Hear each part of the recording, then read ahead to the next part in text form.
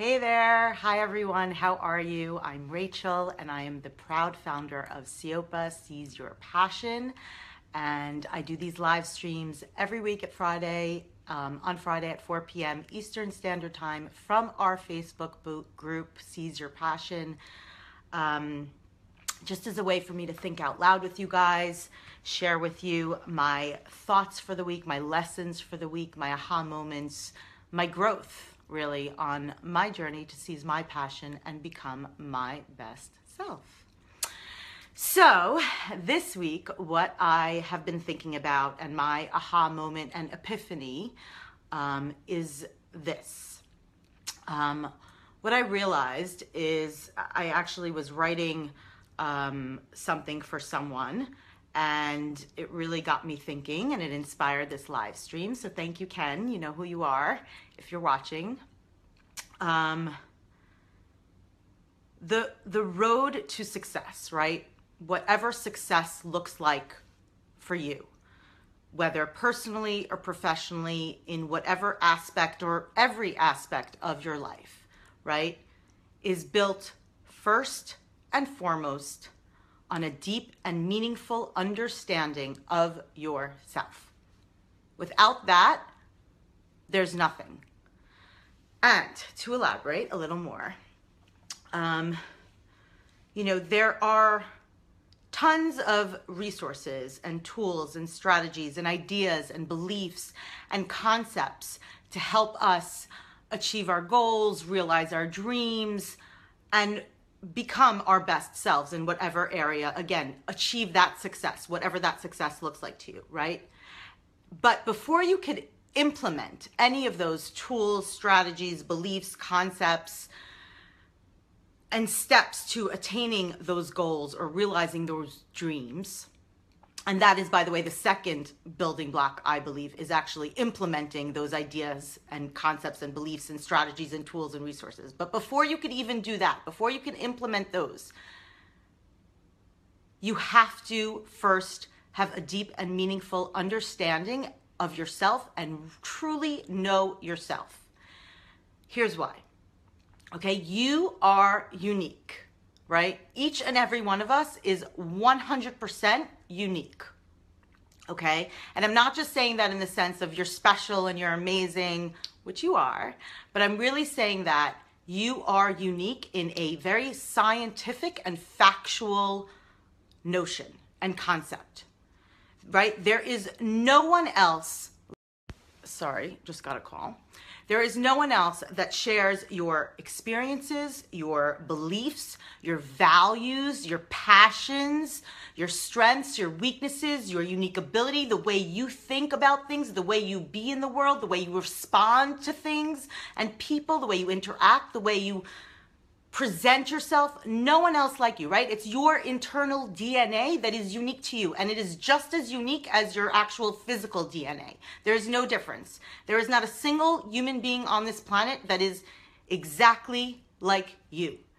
And what compromises that internal dna is everything that makes up your experiences and your beliefs and your values and your goals and your dreams and your passions and your strengths and your weaknesses and so if your goal is to achieve that success, again, whatever that success looks like to you, achieve goals, become better at something, whether personally, professionally, become your best self, right? And we're all looking for that. I don't care who you are. Um, you know, none of us wake up in the morning and say, wow, I really hope my life gets worse today, or I really hope I, I get worse in this area of my life, right? We all want to improve and become better and become our best in whatever area or in all areas, whether we're consciously aware of it or not. There is no human being on the planet that ever lived or that I believe is living that wakes up and says, I really want to get worse at something, or I really want my life to get worse, right? We all want purpose and fulfillment. We want that personal growth and to become our best selves and be our best selves in every aspect or in any aspect, right?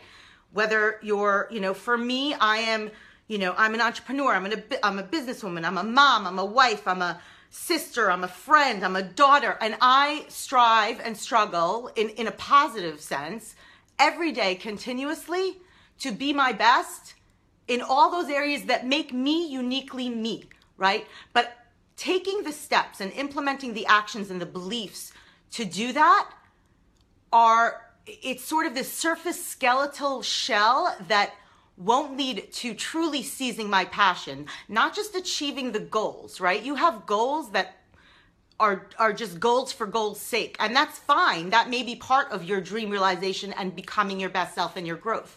But if you just take the steps to implement those resources and strategies and tools and beliefs to achieve those goals without first fundamentally understanding and truly knowing your unique self, your values, your beliefs, who you are, why you are, why that goal is a goal, right? Is it a goal just because you were brought up sort of to believe that you should be doing A, B, and C, or you should achieve A, B, and C? Or is it a goal that really aligns with, you know, your, your existential why and aligns with that fulfillment and purpose that we're all, and that improvement that we're all looking for? So if you just, you know, go about, and again, there are all these amazing resources out there, right? And, and beliefs and notions and thinking about them. That's, that's part of it. And you have to actually take the action and implement it. But it's a, it's, it's a skeleton without a shell, right? It's, it's, it's the skeleton of just bones without the meat on it, without the flesh on it. The way to put the flesh on it and really live a life full of passion, purpose, and fulfillment, and truly seize your passion, right? Which is about living a life full of passion, purpose, and fulfillment. Not just goals for goals' sake, but actually aligning your goals, your dreams, who you are, what you want, what you love, what you fear, your strengths, your, all of that internal DNA that make you uniquely you, aligning that with those goals and dreams, that's in my opinion, the first fundamental block of truly seizing your passion, meaning living a life that's full of fulfillment, purpose, and being your best self in every aspect. And that's an ever evolving and never ending process, right? We're constantly growing and learning more about ourselves.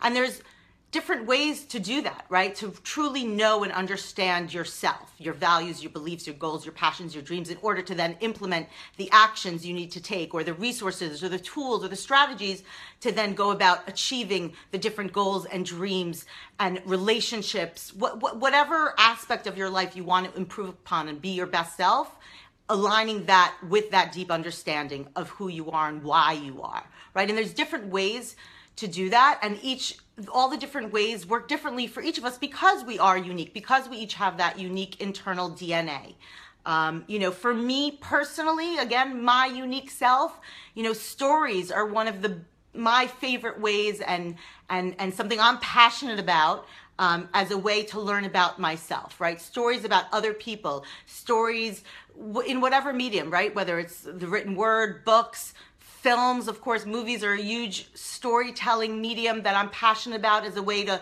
not only learn about each other and, and humanity, but learn about myself and who I am and how I feel and how I operate and all my values and my beliefs and, and question my goals and my dreams and, and, and really have this deep dive um, daily, habitual, just like those actions have to be daily and habitual and consistent in order to achieve the goals and the dreams that align with your internal DNA, so too does the actual um, learning yourself process.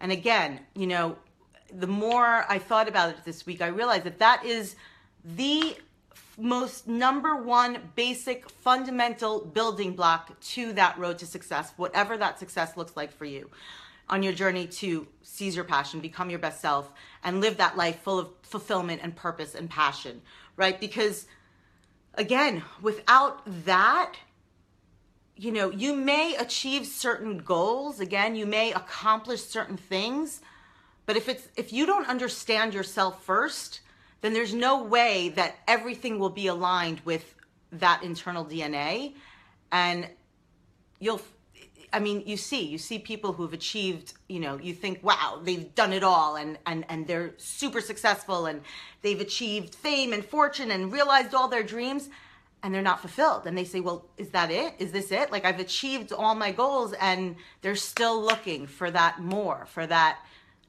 inner true alignment and and holistic um, seize your passion, becoming your best self. Um,